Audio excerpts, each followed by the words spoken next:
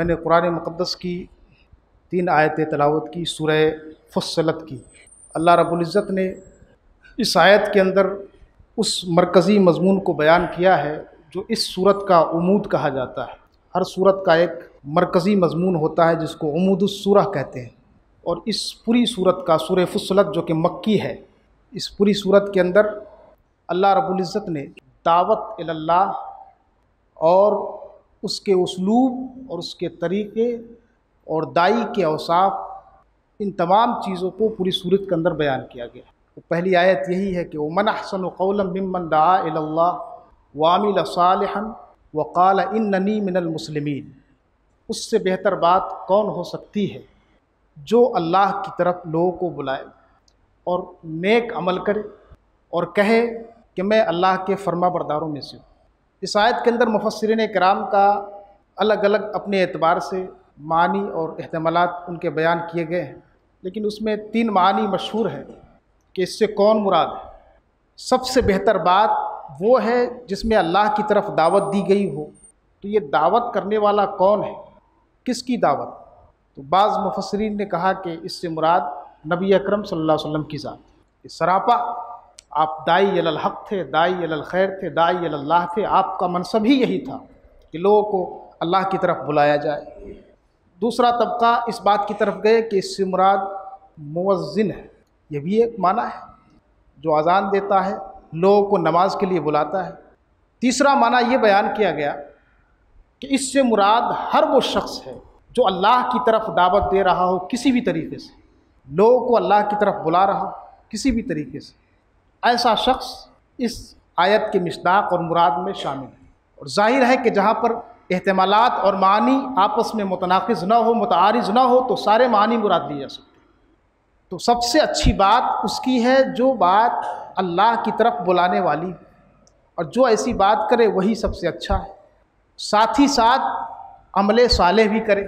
سب سے اچھی بات اس وقت کہلائے گی جب اس کے اندر یہ صفت ہو کہ عمل صالح بھی کرتا ایسا نہیں کہ جن باتوں کی وہ تبلیغ کر رہا ہے، جن باتوں کو وہ دوسروں کو بتا رہا ہے، خود اس پر عمل نہیں کرتا۔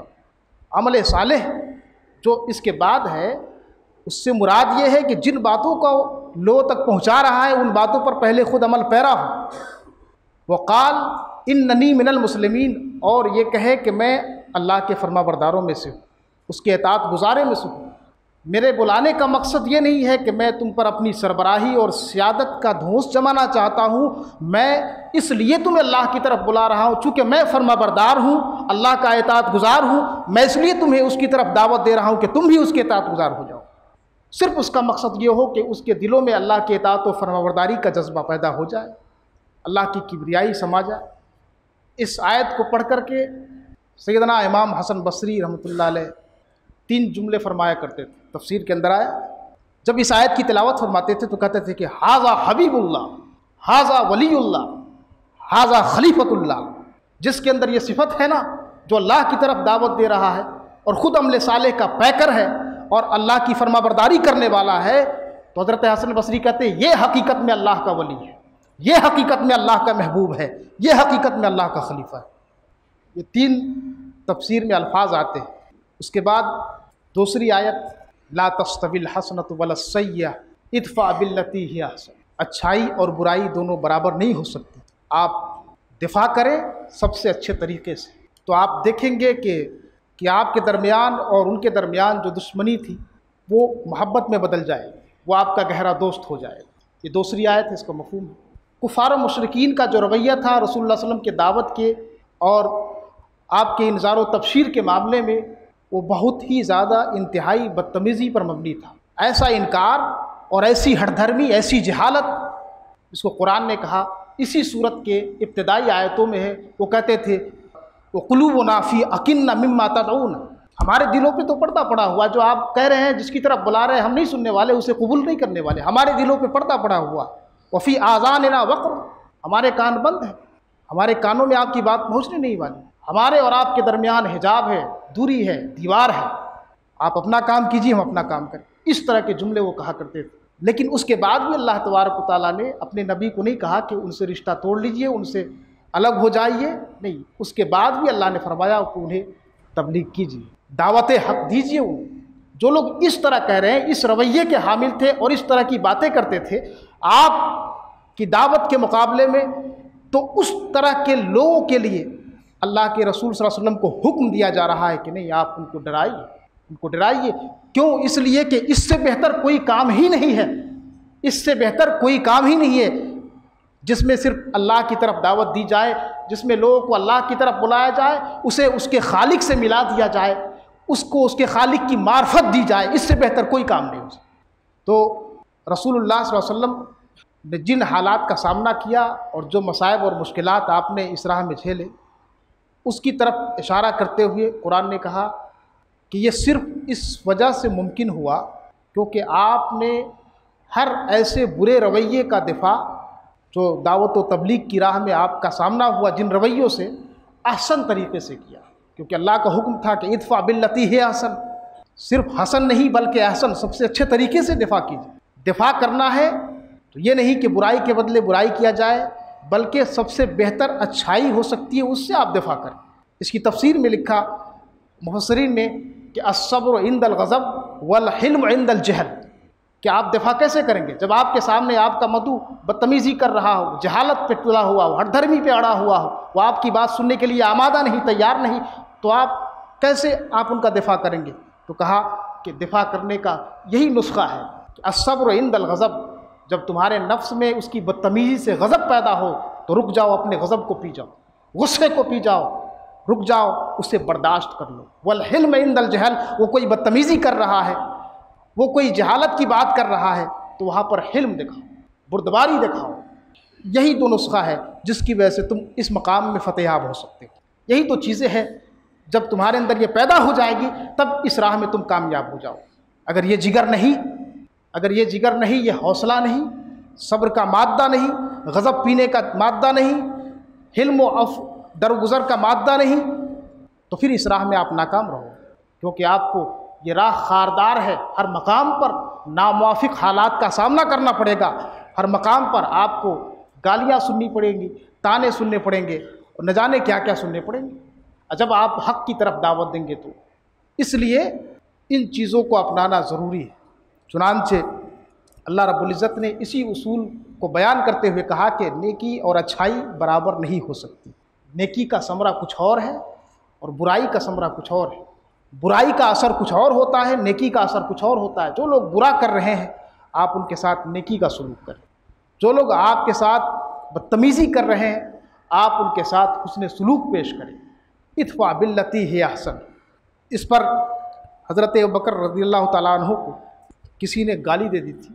منقول روایت ہے کہ کسی نے گالی دی حضرت بکر کو۔ تو سیدنا بکر صدیق رضی اللہ تعالیٰ عنہ نے اس کے گالی کے جواب میں کیا کہا؟ سنیے۔ فرمایا کہ اگر تم سچے ہو، جو گالی مجھے دے رہے ہو، جو ملامت اور لانت مجھ پر کر رہے ہو، اگر تم اس میں سچے ہو، تو اللہ مجھے بخش دے۔ اگر وہ بات مجھ میرے اندر ہے، تو اللہ مجھے بخش دے، میری اصلاح فرما دے۔ اگر تم جھوٹے ہو، تو اللہ تجھے بخش دے۔ تو نے جھوٹ اور بہتان مجھ پر لگایا ہے۔ اللہ تیری مغفرت فرما۔ اتفا بلتی ہے سب سے بہتر طریقہ یہی ہے دفاع کرنے کا۔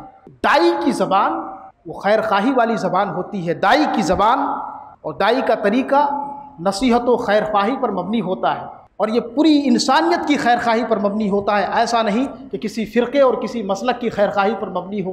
نہیں، اس میں دعوت اللہ ہے، اس میں دعوت الفرقہ نہیں ہے۔ کسی گروہ کی طرف دعوت کی بات نہیں کی گئی، بلکہ اس میں اللہ کی طرف اور اس کے دین کی طرف دعوت کی بات کی گئی ہے۔ تو جب بھی اس دعوت کے میدان میں آئے گا تو اس کی زبان گندی نہیں ہوگی، اس کی زبان پر گالیاں نہیں آئیں گی۔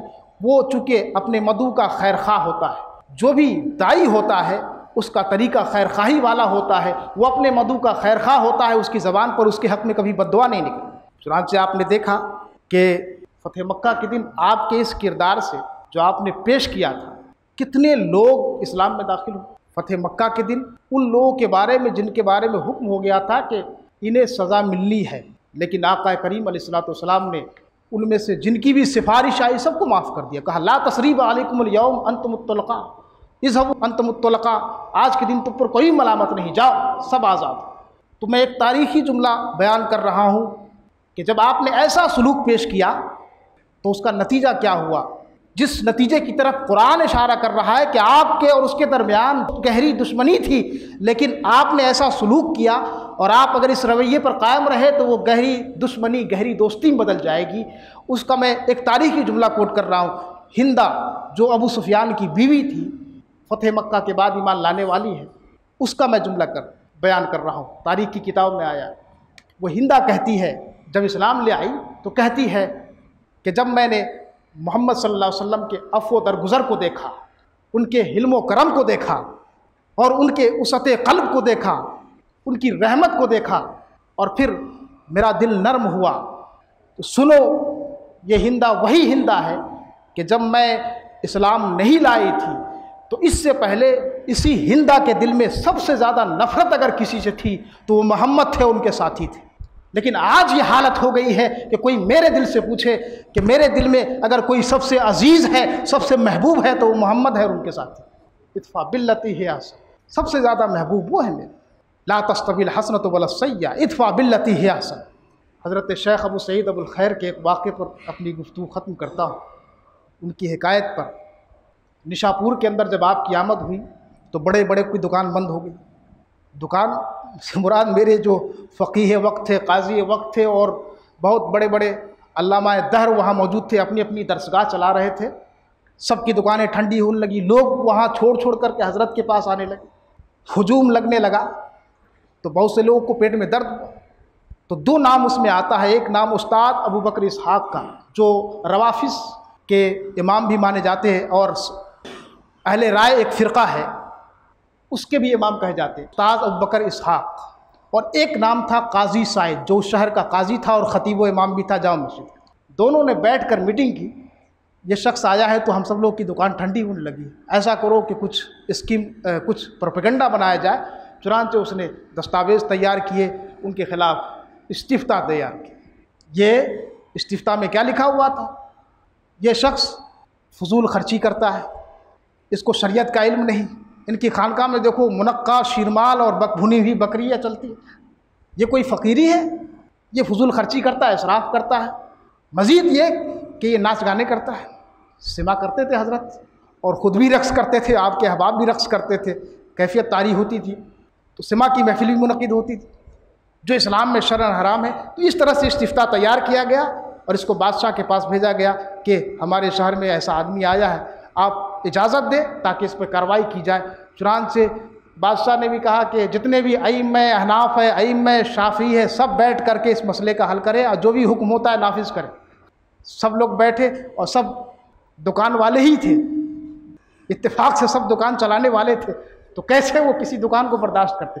تو سبوں نے بیک وقت فیصلہ دے دیا کہ اب آنے والے جمعہ کو حضرت کو ان کے حباب کے ساتھ کفر کا فتویٰ لگا کر دار کے حوالے کیا جائے دار پہ لٹکایا جائے اب حضرت کو خبر ہوئی، مریدوں کو خبر ہوئی، تو کوئی شکن نہیں۔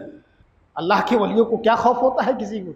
فتویٰ لگائے، جتنا پروپیگنڈا کرنا ہے کر لے، کوئی خوف نہیں، کوئی ملال نہیں۔